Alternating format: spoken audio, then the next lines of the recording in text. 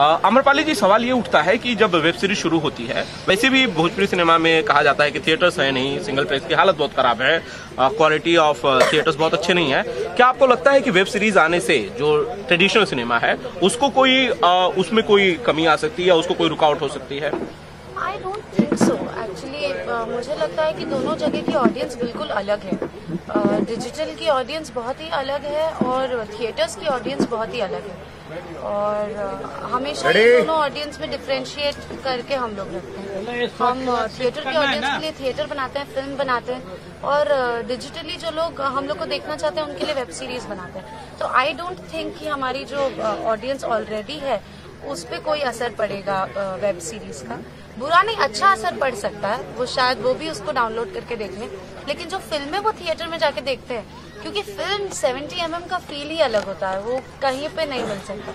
वो नशा I don't think कभी उतरेगा। हीरो वर्दी वाला के बाद क्या किसी और वेब सीरीज़ का ऑफ़र आया है आम्रपाली जी जी। बहुत एक्चुअली पहले भी बहुत आ रहे थे लेकिन हम लोग ने रोक कर रखा था। हम देखना चाहते थे कि हीरो वर्दी वाला का कैसा रिस्पॉन्स है और क्या है। And touch wood by God's grace इतना अच्छा रिस्पॉन्स आया है कि अब हम लोग वेब सीरीज़ करना शुरू करेंगे नेटफ्लिक्स के लिए भी वेब सीरीज़ कर रहे हैं। बहुत सारे अलग अलग प्लेटफॉर्म्स के लिए वेब सीरीज़ करना अब हम शुरू करेंगे जब आम्रपाली वेब सीरीज़ में बहुत सारा बिज़ी हो जाएँगी तो इस सिनेमा को थोड़ा कम वक्त दे पाएँगे शायद? नहीं ऐसा कभी नहीं होगा।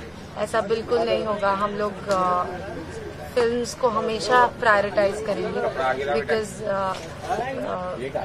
ये मेरा पहला प्यार है सिनेमा सिनेमा को सेकेंडरी में कभी नहीं रख पाऊँगी। फ़िल्म पे हमेशा उतना ही प्रायोरिटी रहेगा।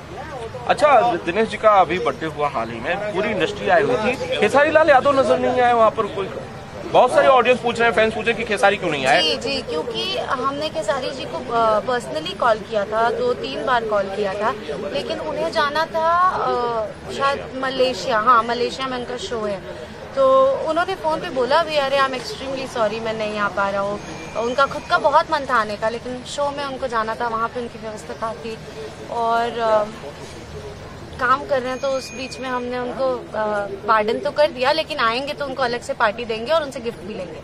अच्छा जब कोई एक पर्टी सारी इंडस्ट्री नज़र आती है कोई पर्टिकुलर स्टार नहीं नज़र आता तो लोग सबसे समझते हैं शायद सब कुछ ठीक नहीं है। ऐसा लोग समझते हैं। कुछ झगड़ा चला है इतना फालतू टाइम इधर किसी के पास नहीं है एक दूसरे से लड़ने का लेट मी टेल यू यहाँ पे सब लोग अपने अपने काम में बिज़ी है और किसी के पास इतना टाइम नहीं है कि उससे बैठ के लड़ाई करो इससे बैठ के बुराई करो वो सब नहीं करता है कोई यहाँ पर